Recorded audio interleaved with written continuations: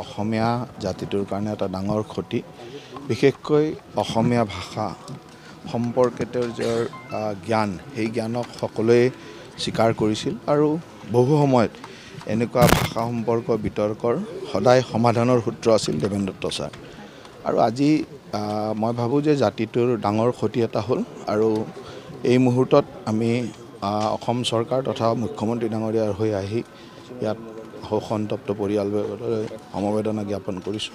যে ছাৰে সদায় হঠাৎ ফোন কৰিব। বৰদলৈ ক'ত আছে? মানে এ, আপোনালোকে টিভিত নাচায় নেকি? মানে কি হ'ল ছাৰ? বোলে টিভিত আপোনালোকৰ এইটো হুঁচৰি কাৰণে দীঘৈকাৰ হ'ব। হুঁচৰিৰ কাৰণে দীঘৈকাৰ হ'ব। এনেকুৱা ফোন ছাৰৰ পৰা গালি মই অসংখ্য খাইছোঁ। সেই গোটেই জীৱনত। মই বেলেগ বেলেগ টিভি ষ্টেচন টিভি চেনেলত কাম কৰিছোঁ। ছাৰে প্ৰায়ে ফোন কৰে। আনকি তেওঁৰ ৱাইফ অৰুন্ধতী বাইদেউ যেতিয়া ডেথ বেডত আছিলে সেই সময়তো ছাৰে ফোন কৰি কৈছে যে বৰদলৈ এই চেনেলত এই শব্দটো ভুল গৈছে। গতিকে অসমীয়া ভাষাৰ বানানৰ প্ৰতি সদায় এজন সদায় সচেতন মানুহ এজন ব্যক্তি এজন। গতিকে দেৱেন দত্ত ছাৰ হেৰাই যোৱাৰ লগে লগে আমাৰ সুবিধা হ'ল। আমি ভুলকৈ বহুত বস্তু এৰি দিব পাৰিম। সেইটো অত্যন্ত ভুল কথা। আৰু মই ভাবোঁ যে ছাৰৰ আজি যিটো আজি আমি ইয়াত অন্তিম সৎকাৰৰ সময়ত আজি আজি আহিছোঁ। অত্যন্ত পৰিতাপৰ কথা যে ইয়াত খুব কম সংখ্যক লোক আজি উপস্থিত আছে। দুৰ্ভাগ্যজনক কথা এজন আহ, দেৱেন দত্ত ছাৰৰ অসংখ্য হাজাৰ হাজাৰ তেখেতৰ ষ্টুডেণ্ট আছে। তেখেতৰ এই অসমৰ অসমীয়া স্বাৰ্থ ৰক্ষাৰ কাৰণে ইমান দিনে তেখেতে কথা কৈ গ'ল কিন্তু সেইজন ব্যক্তিৰ যিটো আজি বাট অন্তিম সৎকাৰ অনুষ্ঠানত ইমান কম সংখ্যক লোক থকাটো আচলতে অত্যন্ত পৰিতাপৰ কথা। দেৱেন দত্ত ছাৰ মোৰ প্ৰত্যক্ষ শিক্ষাগুৰু আছিলে কটন গল্ডত আৰু তাৰপিছতো ছাৰক দীৰ্ঘকাল লগ পাইছোঁ আৰু তেওঁ বহু বছৰ জুৰি গ্ৰাহক সুৰক্ষা সমিতি সংগঠনৰ হৈ গ্ৰাহকৰ স্বাৰ্থৰ হকে যুঁজ দি আহিছিলে।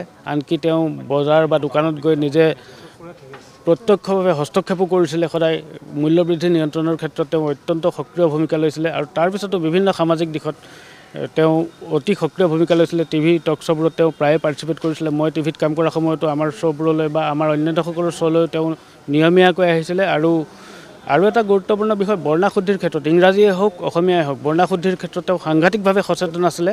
আজি দুসপ্তাহমানৰ পূৰ্বে কটন কলেজৰ আমাৰ বেটছৰ এটা গেট টুগেডাৰ অনুষ্ঠানত তেওঁ অংশগ্ৰহণ কৰিছিলে। শেষবাৰৰ কাৰণে তাতে তেওঁক লগ পাইছিলোঁ। সেই অনুষ্ঠানতো তেওঁ বৰ্ণাশুদ্ধিৰ বিষয়ে মূলতঃ বক্তব্য ৰাখিছিলে আৰু আমাৰ অনুষ্ঠানৰ বিভিন্ন ভুলবোৰ তেওঁ তাতে আঙুলিয়াই গৈছিলে। এটা অপূৰণীয় ক্ষতি মই শ্ৰদ্ধাঞ্জলি জনাইছোঁ দেৱেন দত্ত ছাৰৰ বিয়োগত। তেওঁ এজন অকল শিক্ষাবিদে নাছিল। অসমীয়া সাহিত্যলৈ তেখেতৰ এটা অন্যবদ্ধ অৱদান। তাৰ লগে লগে শিক্ষাবিদজনৰ দেহবাসন হোৱাৰ লগে লগে এটা প্ৰতিবাদী কণ্ঠৰ অন্ত পৰিছে। আপোচিন এজন ব্যক্তিৰ অন্ত পৰিছে। সাধাৰণ সাধাৰণ ঘটনাটো তেখেতে আপোচিন সংগ্ৰ- গোটেই জীৱনটো সংগ্ৰাম কৰি গৈছে। অসমীয়া জাতিৰ বাবে এটা এটা অপূৰণীয় ক্ষতি। মই পুনৰবাৰ তেখেতলৈ শ্ৰদ্ধাঞ্জলি জনাইছোঁ। এজন বিৰল ব্যক্তিত্বৰ অধিকাৰী তেখেতৰ কি ক'ম মানে?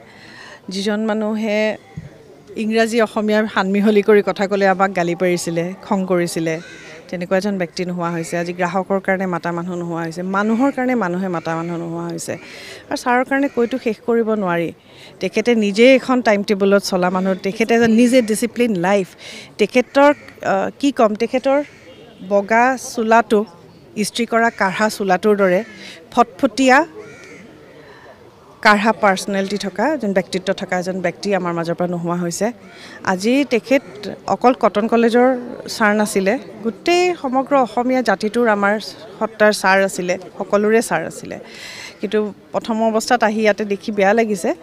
অসমত ইমান হাজাৰ দল সংগঠন আছে। বিভিন্ন কথাত আহে। কিন্তু আজি ছাৰৰ কাৰণে যিমানখিনি মানুহ গোট খাব লাগিছিলে আমি সেইখিনি হোৱা নাই যেন মোৰ অনুভৱ হৈছে। এজনকৈ অহা হৈও তাৰমানে এজনকৈ অহা হৈও ইয়াত কমো দুহেজাৰ মানুহ হ'ল হয় এজনকৈ অহা হৈও। এজনকৈও অহা নাই। সেইটো কাৰণে আজি তাৰমানে দুখ দুখ লাগিছে। আমাৰ অসমীয়া মানুহ ইমানে নোহোৱা হ'লে নিজকে ইমান পাহৰি গ'লনে?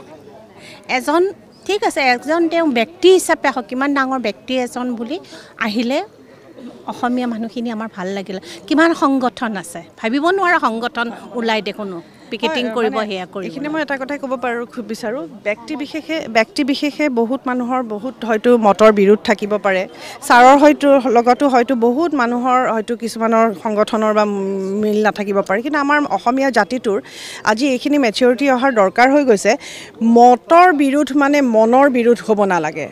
আমাৰ জাতিটোৰ কাৰোৰে মতৰ বিৰোধ হাজাৰজনৰ লগত হাজাৰজনৰ থাকিব পাৰে আপোনাৰ লগত মোৰ মত মিল নিমিলিব পাৰে। কিন্তু আমাৰ আমাৰ মনৰ মিল সদায় থাকিব লাগিব তেতিয়াহে আমাৰ জাতিটো থাকিব।